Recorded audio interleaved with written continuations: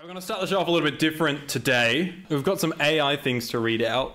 Connor, would you like to, Yes. to read out your thing? So, just quickly, I saw my favorite podcast do this, H3 podcast, and I thought it was hilarious. I was like, I wonder if this AI would actually know what I'm talking about when I mention 50%. percent mm-hmm. Turns out, smart AI. Intelligent.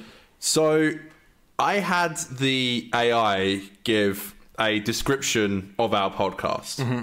All right, and this is what this AI had to say. I didn't tamper with this, this is what it said. Mm-hmm. All right, so the 50% Doctor Who podcast is a popular British. It says British podcast, which is not true. It gets some things wrong. British podcast. We're technically from England. I guess We're so. Australian, pretty I guess much. so. It, there's a few little things, but mm-hmm. anyway, that focuses on the long-running British science fiction TV series Doctor Who. The podcast is hosted by two Doctor Who fans, Aidan Green and Connor Hannon, Wow. who discuss and review episodes, characters, and other aspects of the show. Wow. This is the funny part. The title 50% refers to the fact that each of the hosts has only seen half of the Doctor Who episodes. That's funny though. We that should be the next part. it's like, it's so funny though with with Aiden only watching the classic series and Oh. Connor only watching the revival series. Uh, the podcast has gained a significant follow due to its engaging discussions, lively debates, and insightful analysis of Doctor Who.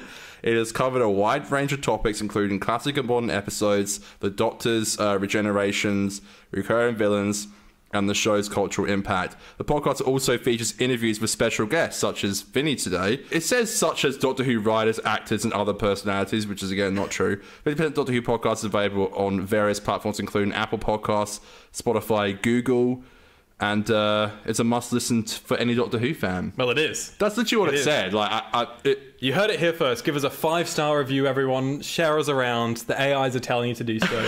it's crazy. Yeah, it's not. wait, It's not too far got- off, to be honest. Oh, thank not. you, thank you. We, What- we are a British podcast. when it said about the name, and it was like they've only seen 50% of the episode, I thought like a great idea for a show is that we should watch like a random show we've never seen before. Right. And you watched the first 20 minutes, and I watched the second 20 Wow, minutes, and we have that's to do a great. review. I, you know, it's funny. I, I ran that a couple times. Um, the other time it said uh, it's called the Fifty Percent Doctor Who podcast because it changed our names twice. It said because Aiden's never seen the show right.